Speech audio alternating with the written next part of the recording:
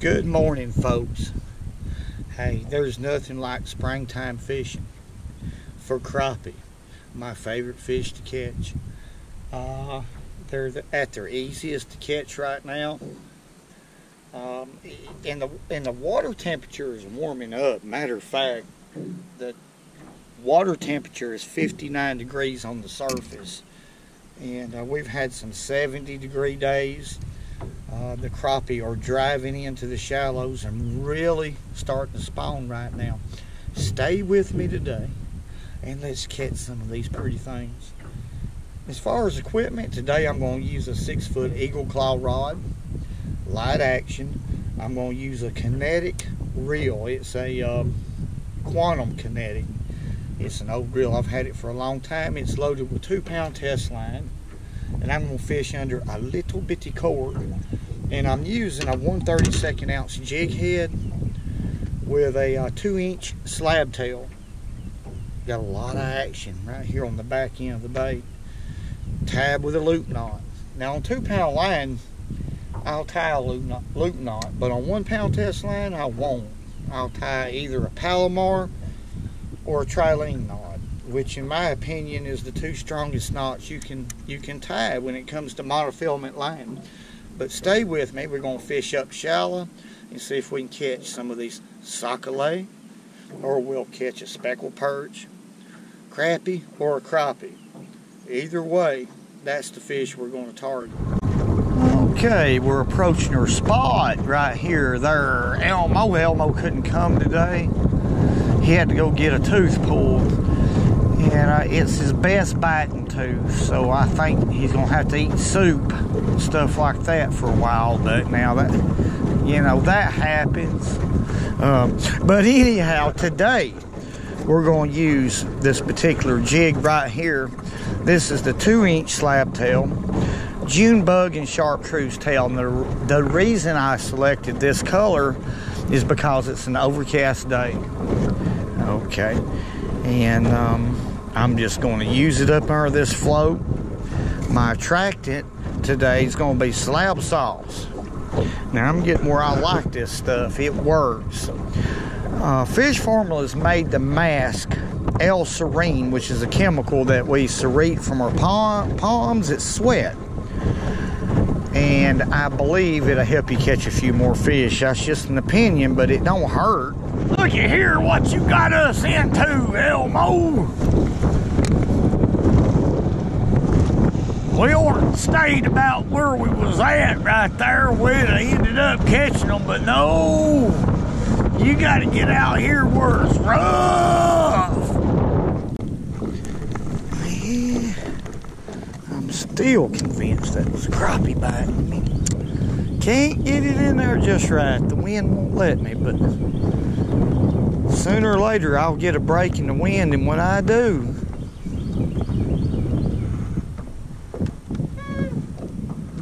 that crappie's gonna get a, there he is, a hook in his nose like that right there.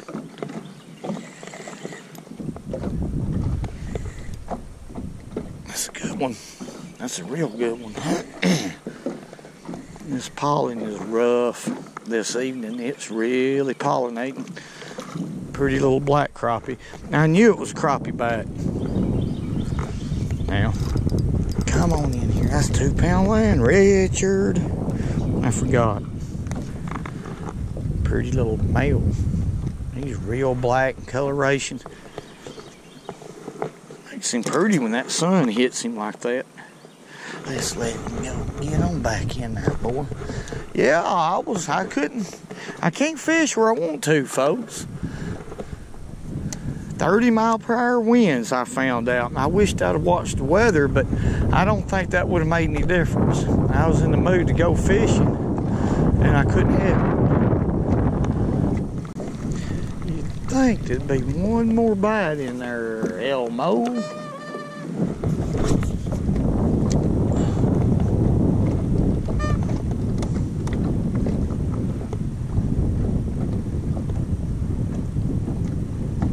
Go.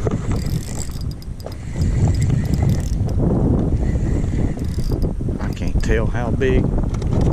Well, acting up now. We got three bites out of that tree.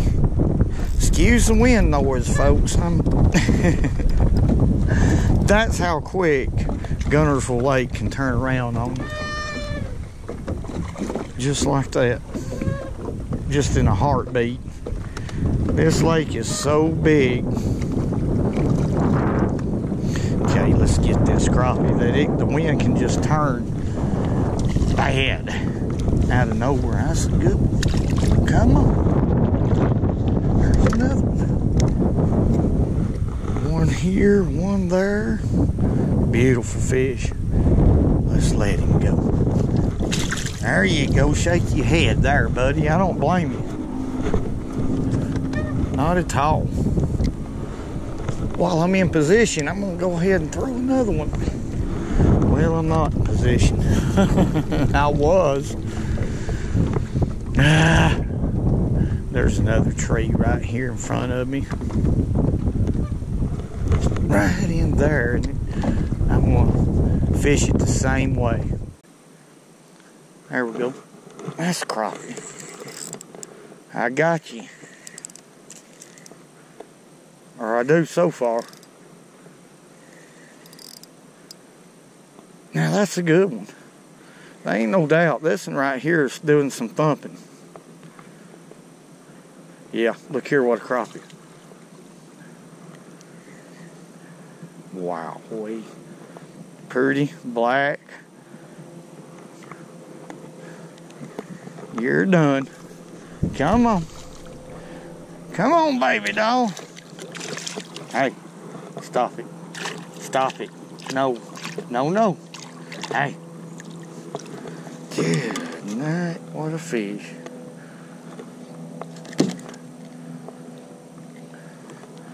What a beautiful fish. Let's let him go. Go on back in there. Alright. Let's catch you, buddy. You ain't gonna catch no fish over. Alright, we blowed way down here.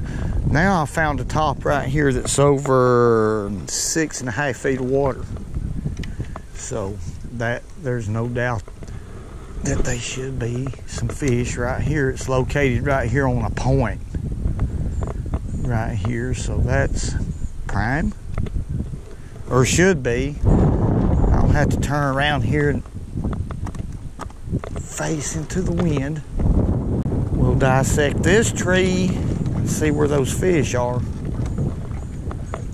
See where the sweet spot is. See, there's always, every time, a sweet spot on a tree. It could be on the outer end, it could be midway, or right there close to the bank. But there's always one spot that's going to produce crappies. Sometimes it's two spots. Sometimes you just have to dissect the tree along it and find that where they're at. And that takes a little bit of patience, but now we got the patience. Once you find them, it's boom, boom, boom, boom. Depends on how many fish is on that bed. Sometimes you can sit there and catch them till you give out. There's a bite. Now, I don't know if that was a crappie. I couldn't tell.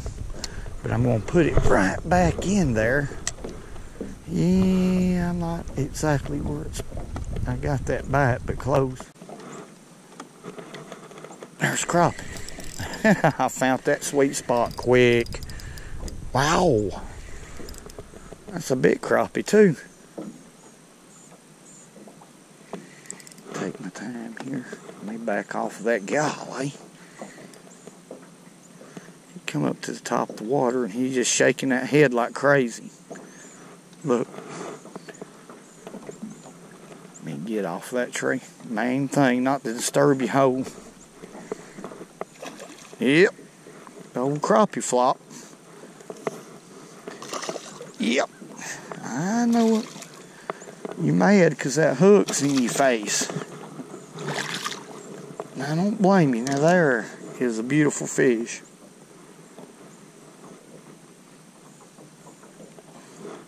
Look at there. Let's let that fish go back. And I'm going to throw right back in that sweet spot. Right there. See if that floated, just go boom. That's how it does it, just boom.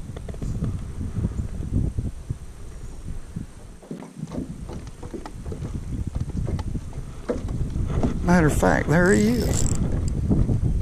Yeah, night.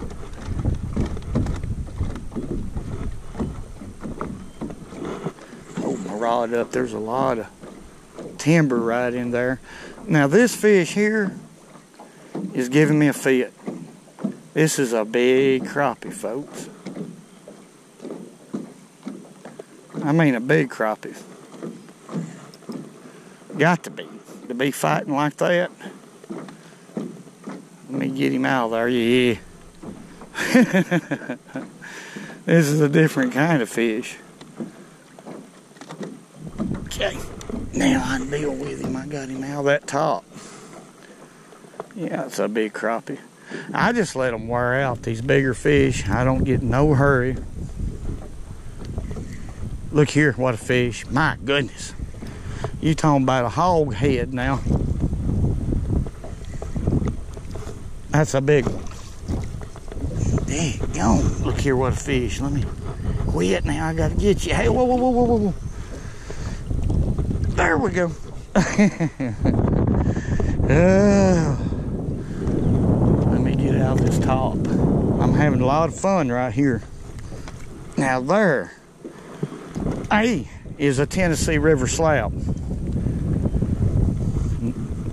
That fish has got shoulders on him. I, I guess that's the way you say it. I've heard that term before. Shoulders on him. Okay, let's let that big boy go right here. Let's get right down here with him and let him go see what he does. They'll do it every time.